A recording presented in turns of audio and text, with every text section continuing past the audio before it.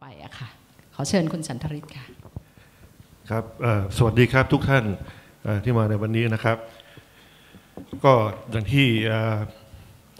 พี่เดชพูดถึงนะฮะ อันนี้เป็นโครงการที่ที่จริงเนื้อหาอันนี้อยู่ในเอกสารที่แจกคณะผมจะไม่เสียเวลาอ่านให้ฟังล้วว่าเรามีวัตถุประสงค์เป้าหมายอย่างไรนะครับ ที่จริงที่เอ่อเราผมผมว่าในฐานะธรรมธรรมลึกเนี่ยนะครับ ผมมองว่าถนนของบ้านเราเนี่ย เป็นพื้นที่สาธารณะซึ่งไม่มีใครดูแลนะครับ เพราะว่าถามได้เองเนี่ยทำงานออกแบบแค่ตัวอาคารมาถึงขอบเขตขอบเขตขอบเขตพื้นที่นะครับ จากนั้นไปเนี่ยก็เป็นเหมือนกับว่ามันอยู่ในความรับผิดชอบรับผิดชอบของของกทมหรือใครสักใครสักคนหนึ่งนะฮะปฏิถนนอยู่กับตำรวจนะแต่เสร็จแล้วเนี่ยมันเหมือนเหมือนว่าไอ้ความที่มันมีคนดูแลหลากหลายเนี่ยนะครับ มันเลยกลายเป็นพื้นที่ที่อ่อ ไม่มีใครรับผิดชอบจริงจังนะฮะเราถึงได้เห็นถนนที่อย่างอย่างอย่างที่พี่พาเดียพูดถึงว่าเวลาเดินไปแล้วเนี่ยมันมันมันรู้สึกเป็นทุกข์นะฮะมันมันมันมันไม่รื่นรมนะฮะอาคารดูสวยงาม แต่ว่าถนนเหมือนกับกับไม่น่าดูนะครับมีมีเสาสายไฟฟ้าระยงระยางเต็มไปหมดนะฮะ ทางข้ามถนนก็ลำบากทางทางสะพานลอยก็ขึ้นลำบากต่างๆนะฮะยกตัวอย่างง่ายๆผมผมพูดถึงอย่างโครงการที่พี่เดพิเดชพูดถึงว่าออย่างโครงการพารากอนนะฮะสุขค้าเมื่อมาทางเมืองลงทุนกันเป็นพันล้านนะครับ แต่เสร็จแล้วเนี่ยถ้าหากถ้าถ้าท่านไปถึงที่นั่นจะจะพบว่าภายในอาคารเนี่ยเดินเข้าไปเดินแล้วเหมือนกับอยู่ต่างประเทศนะฮะแต่พอเดินมาถึงถึงขอบถึงทางเท้าเนี่ยมันกลับเป็นอะไรก็ไม่ทราบนะฮะมันมัน ยิ่งมาฝั่งตรงข้ามนะฮะก็คือก็กลายเป็นตลาดนัดอันนี้นะครับ อันนี้ก็กลับมาถึงโครงการของเรานะครับที่มาเนี่ยมันมันเริ่มต้นที่จริงมันมันมันผมผมได้ได้แอบมองพื้นที่ตรงตรงนี้มามามามามามามาหลายปีแล้วนะฮะเพราะว่าตั้งแต่มีการพูดถึงว่าทำจากทางจักรยานถนนพระอาทิตย์นะฮะท่านยังจำได้นะครับ ก็เคยเข้าไปดูแล้วก็ แล้วก็ที่จริงเนี่ยก็รู้สึกผูกพันกับพื้นที่ตรงนี้เพราะว่าผมผมก็เรียนจบที่ศิลปากรนะฮะเราอยู่แถวนั้นมาตลอด ก็พอดีมาเมื่อมาปลายปีที่แล้วเนี่ยนะครับ ที่อ่อก็มีข่าวว่าอ่อมีมีที่จริงมันมีภาพภาพหนึ่งผมผมลืมเอามาให้ให้ท่านดูคือภาพที่อาจารย์ลุงชัยพันธสวัสดิ์เนี่ยไปพบกับอ่อพลเอกประยุทธ์จันทร์โอชานะฮะเรื่องถึงเรื่องว่านำเสนอเรื่องเรื่องเมืองจักรยานแล้วหลังจากนั้นก็มีอ่อนโยบายออกมาว่าอยากให้ทำทำทำทางจักรยานนะครับ แล้วก็มีการทำทำทางจักรยาขึ้นไปจริงๆเป็นทางจักรยาน 8 กิโลเมตร เห็นเห็นเป็นเส้นสีเขียวอยู่บนอยู่ในภาพดีนะฮะในภาพก็มีเอ่อผู้ใหญ่ลงไปช่วยกันทุกอย่างนะในภาพอย่างนี้ท่านท่านผู้ว่ากทมลงไปทาสีถนนด้วยตนเองนะฮะ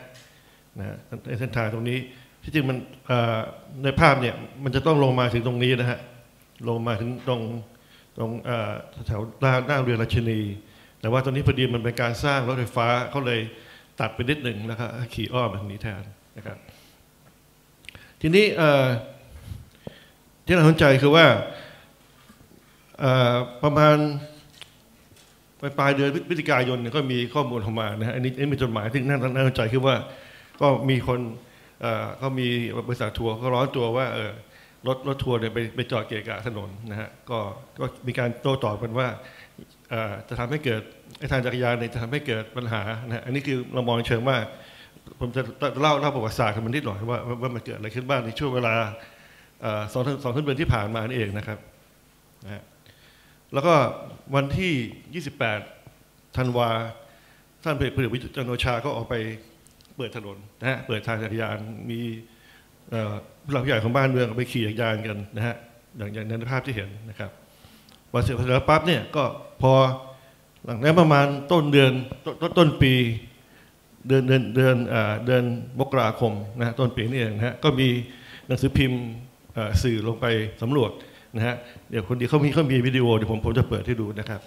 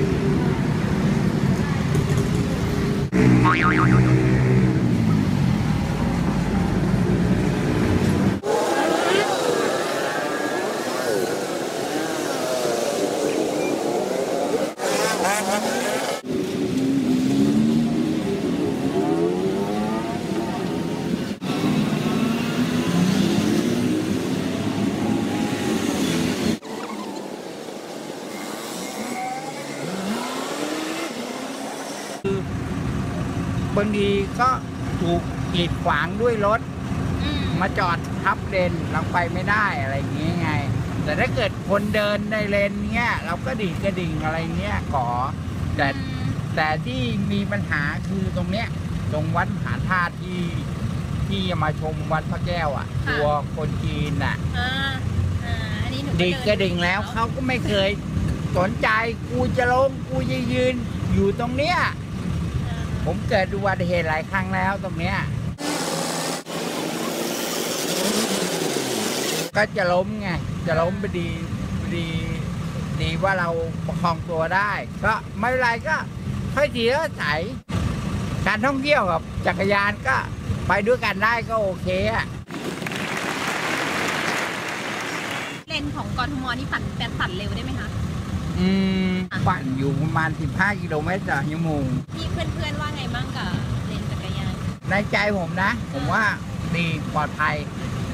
คล้ายๆว่ามันมีรั้วกั้นอย่างเงี้ยแบบอย่างน้อยมันมันรถรถมันไม่มีมาเบียดเราอะใช่ไหมแล้วผมชอบมากนะถ้าเกิดขยายได้ 200กว่าโลเนี่ยนะ โอ้โห เยี่ยมมากเลยเทพมีความสุขมากช่วงที่มันเป็นถนนแล้วไม่มีที่กั้นพี่รู้สึกว่ามันโอเคไหม หรือว่าต้องใช้ทักษะอะไรสำหรับคนปั่นเป็น คนใช้จักรยานเพิ่งเริ่มน่าน่าจะควรระวังมากๆอืมแต่แบบแบบคือผมแนะนำอย่างหนึ่งก็คือ พยายามชิดซ้ายเอาไว้ จะมา แต่ถ้าเกิดขี่ในฟุตบาทเนี่ยมันให้ระวังคนเดินอืมเพราะว่าคนเดินเนี่ยเขาเขาไม่ค่อยรู้ว่าจักรยานเพราะเราไม่มีเสียงอืมใช่ไหมกระดิ่งเนี่ยสำคัญมากต้อง ต้องเตือนให้เขาไม่ใช่แบบ แบบรัวรัวรัวอย่างนี้ไม่ใช่แบบหมายว่า เตือนควรชิดซ้ายแล้วก็แบบคือแปลง แปลงกายเป็นนักขี่กับคนเดิน ใช้ใช้จักรยานเนี่ยต้องมีทักษะบางครั้งขี่ได้บางครั้งต้องใช้เดิน ยกขึ้นฟุตบาท ยกลงฟุตบาท จูงข้ามทางมาลายอะไรอย่างนี้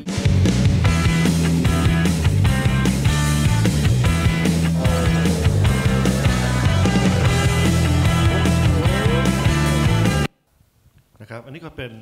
สิ่งสะท้อนนะฮะในช่วงแรกๆ อันนี้เดือนเดือนมกราคมนะครับ ประมาณกลางเดือนมกราคมนะฮะจากนั้นมันเนี่ยก็อุปสรรคหนึ่งนี้ก็ยังพบพบอยู่นะฮะมี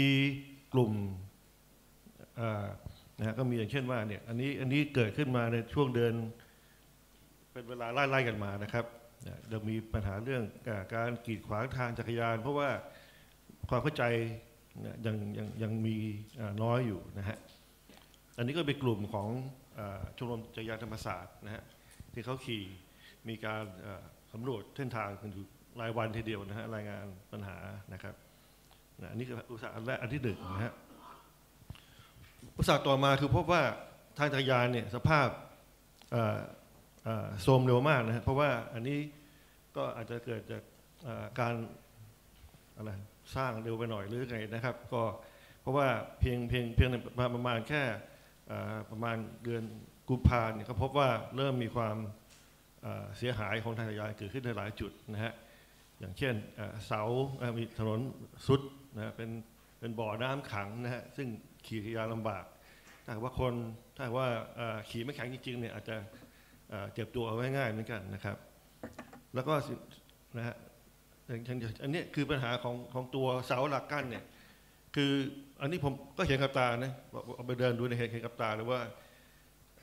รถวิ่งวิ่งทับนะเพราะว่าเขาบางคนอาจจะ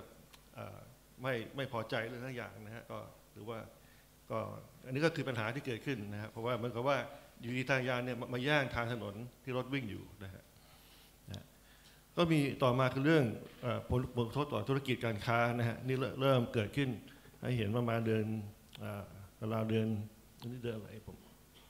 กุมภานะครับ เริ่มมีเสียงบ่นนะฮะว่าจักรยานเนี่ยทำให้การค้าเสียหายนะฮะนี่ยนี่ก็มีการเอาไป อันนี้ก็มีวิดีโอให้ให้ดูอีกชุดหนึ่งนะฮะอันนี้เดี๋ยวดูดูดูดูอันนี้อีก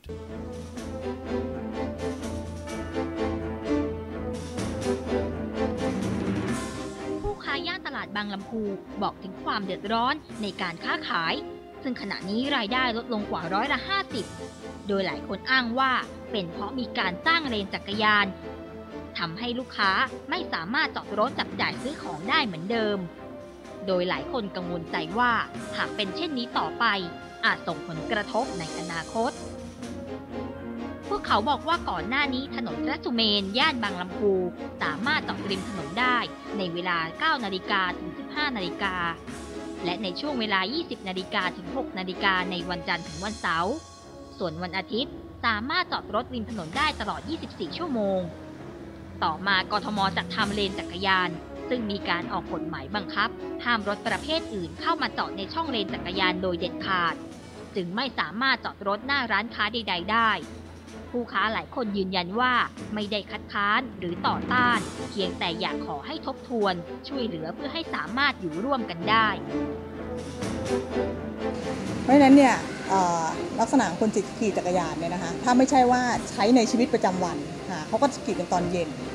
ใช่ไหมคะหรือว่าช่วงกลางคืนอย่างเงี้ยค่ะเพราะมันมันร้อนบ้านเราต้องยอมรับอากาศมันร้อนมากค่ะการที่มีอย่างเงี้ยเรียกว่ามันมันสูญเสียค่ะในเรื่องของของ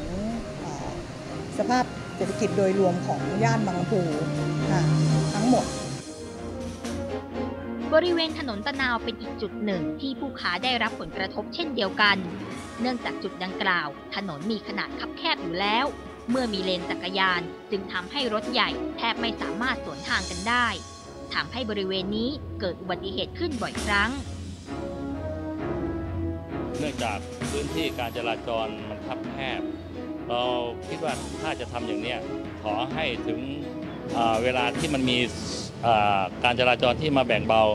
เส้นทางการจราจรไปก่อนได้ไหมถึงจะมาทำชั่วโมงนี้ขอให้อนุญาตเอาออกไปก่อน เนื่องจากว่าจากการมีเนี่ยการเดินจักรยานเนี่ยทำให้มีอุบัติเหตุมากขึ้น ทีมข่าวได้ลองสำรวจเส้นทางจักรยานทั้ง 8 กิโลเมตร รอบเกาะรัตนโกสินทร์พบว่าตลอดเส้นทางเลนจักรยานนั้น ส่วนใหญ่จะมีรถจักรยานยนต์เข้าไปขับขี่แทน สาเหตุส่วนหนึ่งอาจเป็นเพราะว่าบางช่วงเวลานั้นมีผู้ปั่นจักรยานน้อย ในขณะที่นักปั่นจักรยานหลายคนก็รู้สึกดีที่มีเลนจักรยานแบบนี้ เพราะทำให้รู้สึกปลอดภัยจากรถใหญ่อย่างมาก แต่ก็ยังมีปัญหาเรื่องของการจอดรถ หรือการเดินในเลนจักรยานทำให้ไม่สามารถใช้ได้ตลอดเส้นทางจึงอยากให้ทางโครงการช่วยดูแลเพิ่มเติมในส่วนนี้ แต่ถ้ากทมเนี่ยสนใจสักนิดหนึ่งผมว่าน่าจะดีกว่านี้นิดนะคือส่วนตาที่รถเนี่ยอย่างเงี้ยฮะเข้ามาจอดเนี่ยเราก็เห็นแล้ว อย่างเงี้ยเราเราไม่เห็นเลนเขียวเราแล้วถูกไหมฮะทีนี้ถ้าเรามาเนี่ยเราก็ต้องออกข้างนอกออกข้างนอกถามไปอันตรายอันตรายแน่นอนครับแต่อยู่ในเนี่ยเราปลอดภัยแน่ถ้าไม่มีรถขวางถ้าไม่มีคนเดินขวางหรือมอเตอร์ไซค์หรือรถยนต์มาขวางเลนเนี่ยดีมากเลย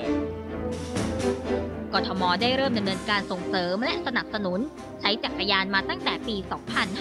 2551 โดยจัดทำโครงการจักรยานชมกรุงรัตนโกสินทร์และเส้นทางจักรยาน เพื่อเป็นการส่งเสริมการท่องเที่ยวในพื้นที่บริเวณรอบเกาะรัตนโกสินทร์ด้วยจักรยาน จากนั้นได้มีการขยายเส้นทางจักรยานไปยังฝั่งธนบุรี รวมถึงเส้นทางอื่น ๆ ให้ครอบคลุมพื้นที่กรุงเทพมหานคร ซึ่งปัจจุบันกรุงเทพมหานครมีเส้นทางจักรยานรวม 31 เส้นทาง ระยะทาง 232 กิโลเมตร เพื่อส่งเสริมและสนับสนุนให้ประชาชน หันมาใช้จักรยานแทนการใช้รถยนต์เพื่อการสัญจร ลดปัญหามลพิษบนถนน ซึ่งเส้นทางจักรยานที่มีอยู่บริเวณรอบเกาะรัตนโกสินทร์แบ่งเป็นการดำเนิน 2 ระยะ คือระยะที่ 1ดำเนินการปรับปรุงเลนจักรยานจำนวน 12 เส้นทาง รวมระยะทาง 8 กิโลเมตร ได้แก่ถนนมหาชัย ถนนตะนาว ถนนกัลยาณไมตรี ถนนสนามชัย ถนนท้ายวัง ถนนมหาราชเป็นต้น และระยะที่ 2 จะดำเนินการปรับปรุงเพิ่มอีก 5 เส้นทางในปี 2558 นี้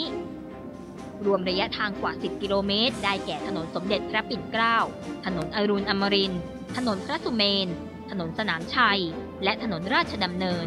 ซึ่งได้มีการเปิดใช้เลนจักรยานอย่างเป็นทางการไปเมื่อวันที่ 28 ธันวาคมที่ผ่านมา รวมถึงกองบัญชาการตำรวจนครบาล ได้ออกข้อบังคับเจ้าพนักงานจราจรในเขตกรุงเทพมหานคร ว่าด้วยการห้ามหยุดหรือจอดตลอดเวลา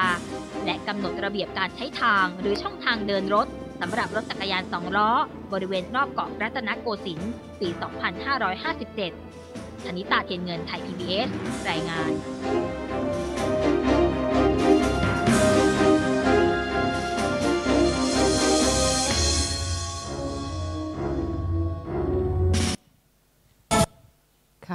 ดูเหมือนว่า